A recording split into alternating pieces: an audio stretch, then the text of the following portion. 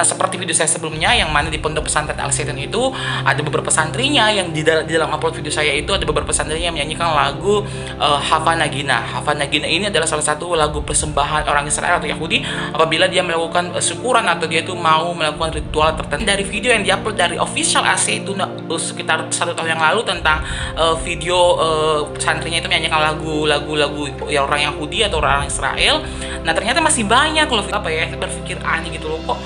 pondok pesantren Al Zaitun itu apa hubungannya dengan Israel? Apakah betul-betul Al Zaitun ini adalah bawahan atau anak didik dari orang Israel atau negara Israel gitu loh dalam dalam dalam satu misi atau visinya orang Israel jadi dia tuh merekrut Al Zaitun ini gitu loh karena selain bukan selain dari video yang Hafana Gina ini dan ternyata masih banyak seperti video berikut ini